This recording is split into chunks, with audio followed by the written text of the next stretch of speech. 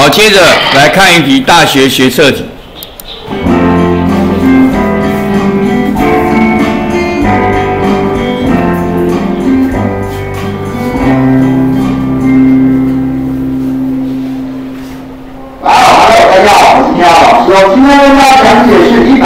学测的第十五题哦。它问说啊，下列哪些组的物质可以用来说明倍比定律哦？然后底下题就讲氧、抽氧、一氧化氮、一氧化氮，然后还有水、过氧化氢、一氧化氮、二氧化氮，还有氧化钙跟氢氧化钙。然后选项给了几个组合，那我们到底哪两个是我们可以说明倍比定律的物质呢？好，那解这题呢，最重要的了解观念就是。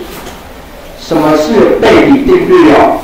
倍比定律啊，它讲的就是如果我有两种元素组成不同化合物的时候，我如果其中一个元素固定，那另一个元素我就会成简单整数比哦。好，这是什么意思呢？我想老师讲很清楚，学生听得很模糊。这个文字到底是什么意思啊？没关系，我们用几个例子来跟大家讲解一下。来，所以我们看到这边有个 A 跟 AB 跟 AB 数，一个看到两个元素有 A。有 B 两种元素嘛，它们是不是组成的不同化合物有 AB 跟 AB 2？那我们今天如果固定其中一个元素的时候，我们先把 A 固定起来，那另外一个元素会成简单整数比，我们发现我的这边 B 是一个，这边的 B 是两个，所以也就是我们的一比二，这个够简单的吧？一比二，也就是我们的简单整数比了。那我们生活中很常常会在题目里面看到哪些例子呢？我们来看一下。第一个 SO2 跟 SO3，这个我们大家常常可以在酸雨里面会看到，我们的这个 SO2 或 SO3 啊，可能会形成我们的亚硫酸或者是我们的硫酸这几个东西，这就形成我们的酸雨哦。接下来还有 CO 跟 CO2，大家这个可能有因为一氧化碳中毒，然后又让我们身体呢因为缺氧而呈现粉红色的哦。好，这是，我们的 CO 啊，如果跟红血球结合之后，CO 就会霸占着红血球的位置不放，导致红血球没办法再跟我们的氧气结合，所以就会让我们的身体呈现缺氧状况，中毒而死哦。好，接下来看 CO2，大家这个可能就很常见了吧？我们常常所听到的啊，就是所谓的温室效应，或者是温室气体，就是我们的 CO2 哦。我们在燃烧这个化石燃料同时，都不断在排放，我们呼吸的过程中也会有 CO2 产生哦。好，接下来 NO 跟 N2O，NO 啊可能是大分或成一氧化氮，它在哪边有出现？像我们常常在使用的这个硝化甘油啊，但是硝化甘油可以疏解心脏的疾病，原因是因为啊，在里面会分解出 NO 这个东西，可以让我们血管舒张哦，比较不会造成心肌梗塞。那 N2O 这个常常看到，如果大家有在跑跑卡丁车啊，或者在玩一些游戏的时候，这些车子呢，所谓的开这个氮气加速，我们就是加这个东西，也就是 N2O。那接下来呢，一些这个我们又有另外一个名字，我们叫做笑气。如果大家有空可以对着荧幕，我们看说英文我们会笑。好来，那我们接下来我们看它的符合对比定律在哪里哦？我们先来看，我们今天固定其中一个元素的时候，哎，我们就要看到一样的就可以固定哦。S 都是有一个固定，C 只有一个固定，氧只有一个固定。于是我们来看另外一个元素会成简单整数比。所以我们来看一下，哎，如果是 SO2。跟 SO3 的话，哎，刚好二比三有哎，氧呢一比二也有，哎，N 呢也是一个跟两个，所以也有，OK 吗？所以这就是我们倍比定律在讲的观念哦。那我来看看这一题要怎么解。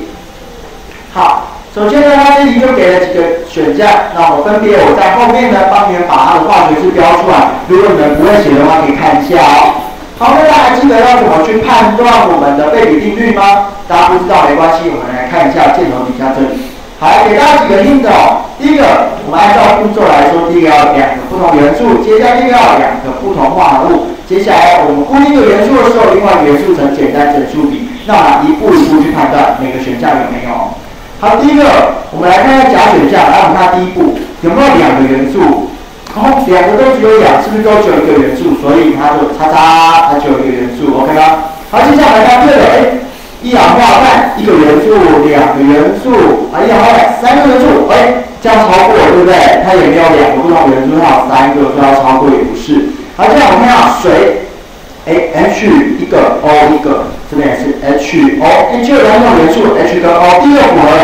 接下来看看第二个有没有两种不同化合物？有啊。一个是水，一个是过氧化氢，有两个不一样啊。接下来，那如果我固定一个，你看，如果我固定这个 H2，H2，那另外一个元素，一个是阳一个，一个是阳两个，有没有成简单指数比一比二？有哎，所以这个就是我们的答案。好，来看看听，一氧化氮跟二氧化氮 NO 是不是两个都只有 NO？所以第一个符合喽，我们有两个不同元素，接下来两个不同化物，一氧化氮跟二氧化氮。接下来我们如果放进其中的元素的时候，哎，另外一个元素成简单整数比哦，你会发现这边是一个，这边是两个，刚好一比二，所以这个也是哦。好，接下来看物，哎，我的氧有个我的钙，然后这边是我有钙、氧跟氢，我们有三个元素哎，钙跟氧跟氢，所以它是不是就第一个不对？要超过两个元素，所以这题我们答案知道了吧？有看丙丁两个选项，所以这题我们就要选择丙丁出选项，大家答对了吗？好，那大家记得哦，我们这个章节讲的是倍比定律，还有它判断方式什么？第一个记得要两个不同元素，第二个要两个不同化合物。接下来呢，固定一个元素的时候，另外一个元素会成简单整数比，大家记得了吗？好，那我们来看一下接下来相关的考题重点哦。我们有定比定律、原子说还有质量守恒。如果不熟悉以下三个观念的同学，赶快点进去看吧。我们下次再见喽。质量守恒应该算提过了，原子说是后面的重点。